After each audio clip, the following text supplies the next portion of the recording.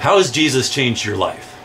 That's the question that's going around on social media right now. And when I think about that question, for me personally, there are so many different answers to that that it would be impossible for me to make a short video about that.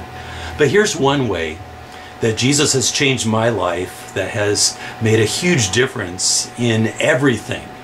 Uh, and I think it's a practical difference for, for you as well. And that is how I view life. When I was in high school, I had a uh, really cynical and selfish attitude. I thought that everyone was selfish because I was. And I, even when I saw what appeared to be acts of kindness and love, I automatically assumed that people had ulterior motives and that they had an angle and they were just trying to get something out of it for themselves. And because of that, I developed uh, a discouragement, uh, a depression, a despondency. I was lacking motivation. I was an underachiever. At one point, I had a 0.67 grade point average. Uh, when I got to the end of high school, I, I couldn't graduate because I didn't have enough credits. I had to go an extra year. That's what this negative attitude did to me.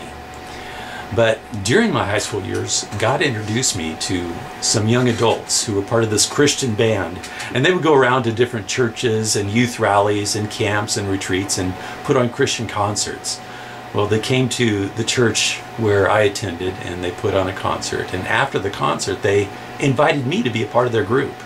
And I couldn't figure it out because I had no musical talent. I couldn't play an instrument or sing.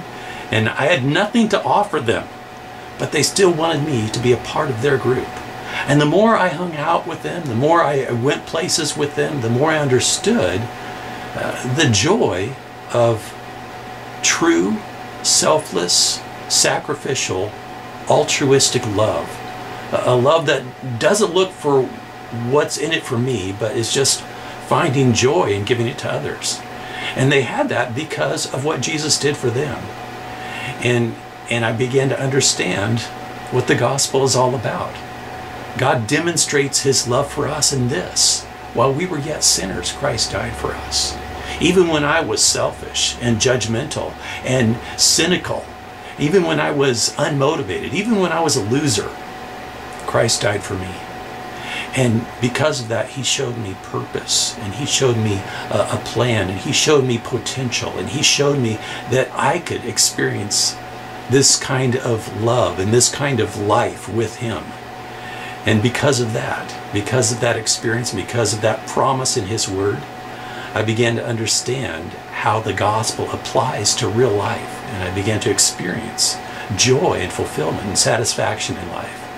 That's how Jesus changed my life. What about you? How has Jesus changed your life?